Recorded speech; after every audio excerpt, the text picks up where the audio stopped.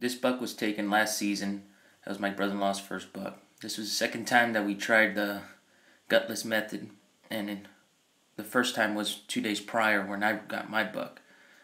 Um, it was my brother-in-law's first buck, and he had a blast. It was fun. He, I couldn't believe he scored. So, I bumped the camera on accident, so I hope you guys enjoyed still. Remember, subscribe and like.